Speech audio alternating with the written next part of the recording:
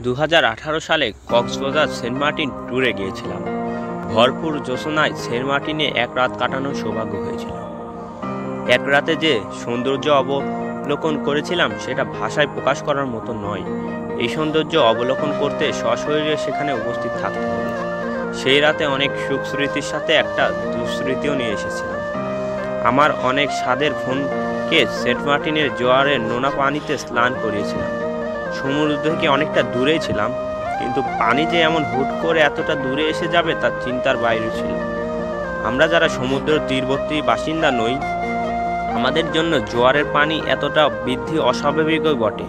কিন্তু যারা ওই অঞ্চলের স্থায়ী বাসিন্দা, তাদের ভাষ্যমতে এই ঘটনা খুবই স্বাভাবিক এবং সত্যি হলো হ্যাঁ খুবই স্বাভাবিক একটা ঘটনা।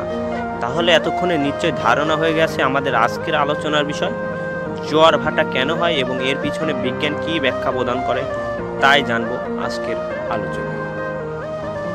ভিডিওটি না টেনে সম্পূর্ণ দেখার অনুরোধ তাহলে চলুন, প্রথমেই জেনে নেওয়া যাক জোয়ার এবং ভাটা কি এবং জোয়ার ভাটা কেন হয়।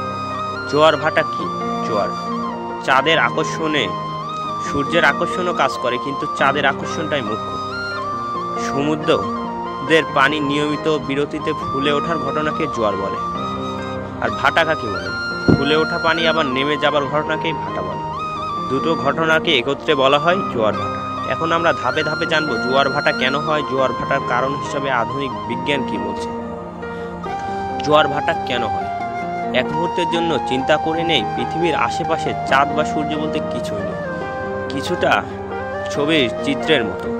নিউটনের মহাকাশ্য সূত্র অনুসারে এই মহাবিশ্বের প্রতিটা বস্তুকণা একে অপরকে নিজের দিকে আকর্ষণ করছে। যেহেতু পৃথিবীর আশেপাশে চাঁদ বা সূর্য নেই, তাহলে পৃথিবীর উপর কোনো বস্তুর আকর্ষণ বল কাজ করছে না। তখন পৃথিবী এবং তার উপরিভাগের পানিকে আমরা উপরের ছবির মতো চিন্তা করতে পারি। এখন আমরা পৃথিবীর নিকটে চাঁদকে নিয়ে আসব।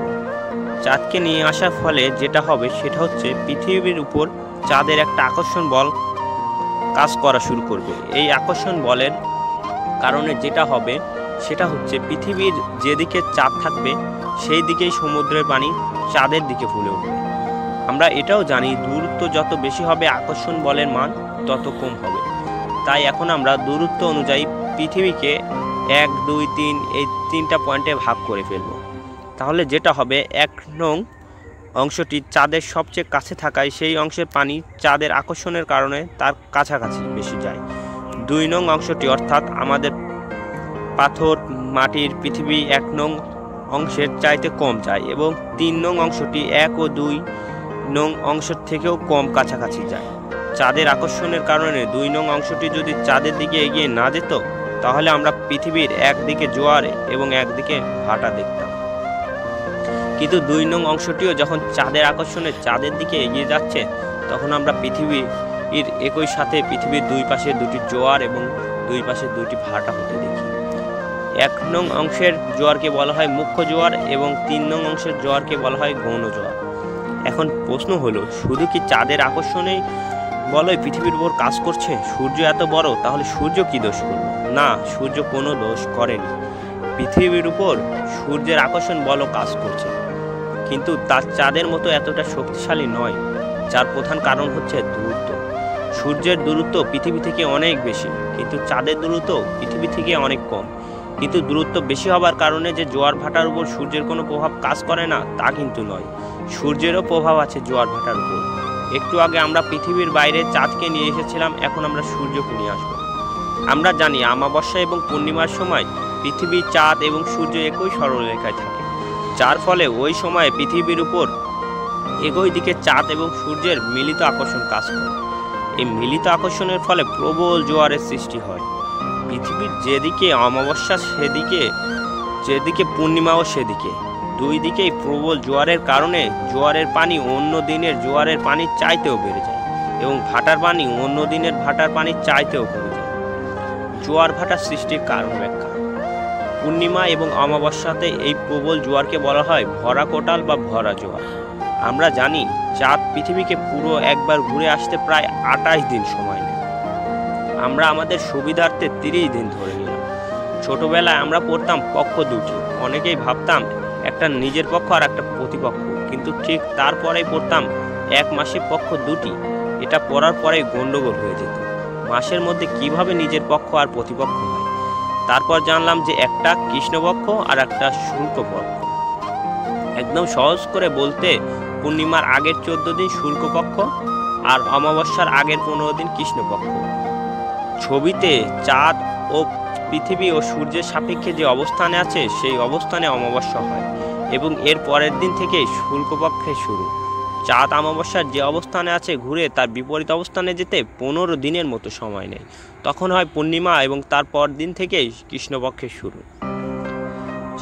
সাত দশমিক চার বা প্রায় আট দিনে চাঁদ নিচের ছবির উপরের অবস্থানে পৌঁছে এবং যেই দিন পৌঁছে সেই দিনটাকে বলা হয় শুক্লপক্ষের অষ্টম তিথি।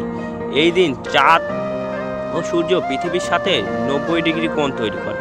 নব্বই ডিগ্রি কোণে অবস্থান করার কারণে পৃথিবীর উপর চাঁদ এবং সূর্যের আকর্ষণ বল দুই দিকে কাজ করে, যার ফলে জোয়ারের পানি ভরা কটালের মতো বৃদ্ধি পায় না। তার সেই সময়ের জোয়ারকে বলা হয় মরা কটাল ঠিক একই ঘটনা ঘটে কৃষ্ণপক্ষের অষ্টম তিথিতে। যখন চাঁদ ছবির নিচের অবস্থানে পৌঁছায়, অর্থাৎ এক মাসে দুটি ভরা কঠাল এবং দুটি মরা কঠাল দেখা যায়। এখন আমরা যদি সময় নিয়ে কথা বলি, অর্থাৎ দুটো জোয়ারের ব্যবধান কতক্ষণ বা দুটো ভাটার মধ্যে সময়ের ব্যবধান কত?